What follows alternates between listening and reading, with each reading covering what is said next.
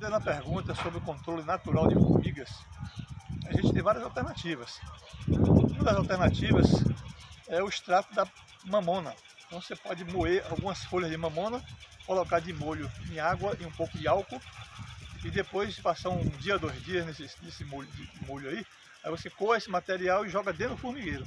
É uma alternativa. Outra alternativa é colocar água da mandioca, que a gente conhece como manipoeira. Então aquela água de manipoeira é muito venenosa, ela tem ácido cianídrico. Você pode derramar também essa água dentro do formigueiro e tampar o formigueiro.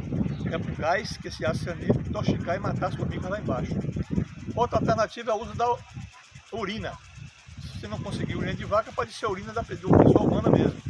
Então a urina você despeja também, se puder até deixar fermentar alguns dias, deixa dentro da garrafa PET, não enche até em cima, deixa mais ou menos uns dois terços, aí deixa uns três dias ela presa ali fechada, ela vai fermentar, você despeja também dentro do formigueiro e tampa, que é por gás também ali, que é o, o, o gás amoníaco, intoxicar as formigas. Outra alternativa é você pegar algumas laranjas, molhar essas laranjas e deixar quieto no canto lá, que ela vai apodrecer. Essas laranjas, depois de podre, fica com aquele bolor branco. Aquilo ali é uma penicilina, que é um antibiótico. Você pode triturar esse material também na água e jogar dentro do formigueiro. Mata as formigas também. Uma outra alternativa é usar sementes de gergelim. Sementes de gergelim você polvilha assim em volta do formigueiro, elas vão levar essa semente para dentro do formigueiro, lá, lá, também ela vai apodrecer, liberar um gás e matar as formigas que estão lá no, na, na rainha com seu ninho. Né?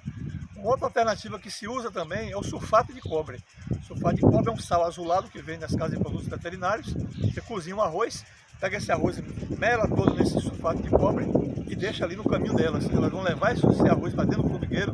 O sulfato de cobre, como tem o enxofre e tem o cobre, mata as formigas também. Outra alternativa é usar um pão com vinagre. Então se coloca vinagre num pão, deixa secar um pouco esse pão e deixa esfarela esse pão perto do formigueiro vinagre é tóxico para as formigas também. Então são muitas alternativas que existem. Também tem pessoas que fazem o uso do biofertilizante, que é um, produto que a gente usa como adubo foliar, mas espera também dentro do formigueiro que intoxica as formigas. Ou é M, micro-organismos eficazes. Mas aí já tem alternativas suficientes para a senhora escolher uma dessas aí, eu tenho certeza que vai ser favorável. Tem gente que planta também carreiras de gergelim ou batata doce. As folhas do gergelim, quando elas comem, mata elas também. Você pode fazer também o extrato do ninho. O ninho, como eu falei, da mamona, pode ser feito também com ninho, que é bem tóxico para as formigas também.